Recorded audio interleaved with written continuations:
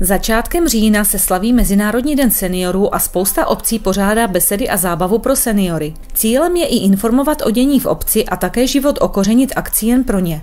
I v Šardicích na seniory myslí a uspořádali jim podvečer s kapelou Country z Mikulčic, která pro přítomné hrála výhradně česky, a to například písničky od Valdemara Matušky, Pavla Bobka a spousty dalších interpretů.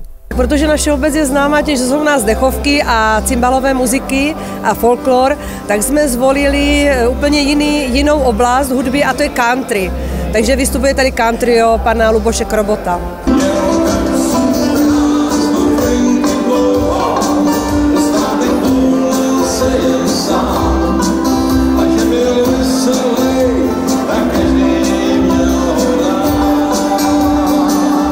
Všichni víme, že seniory je nutné informovat, takže co bylo vlastně v tom úvodním slovu? Informovala jsem o tom, vlastně, co se chystá v nejbližších eh, dnech. Nechtěla jsem je informovat o těch negativních záležitostech, protože si myslím, že z tisku a z televize se toho na ně opravdu valí hodně zdražování energie, válka, takže jsem chtěla jenom informovat o tom, co je čeká v té nejbližší době a vlastně jsem je chtěla poprosit, protože ti seniori jsou taková skupina, která je nejvíc kovaná v dotaznících.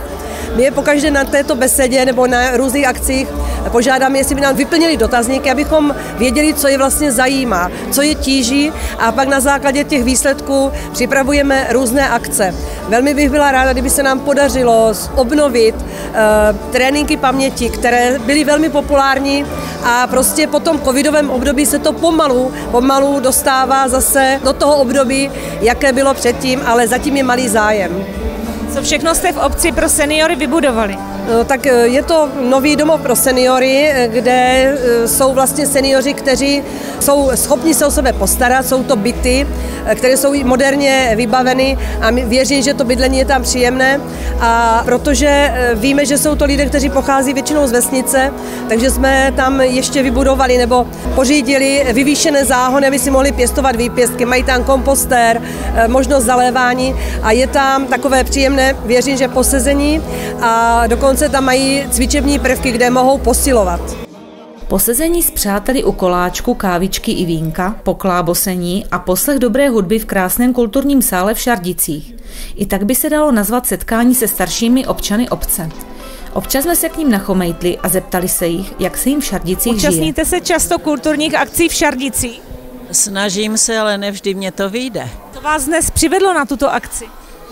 Protože já ráda chodím jako mezi lidi, eh, tak proto jsem si dneska i vyšetřila čas a i s manželem samozřejmě. Co byste doporučila pro seniory ještě v obci třeba udělat?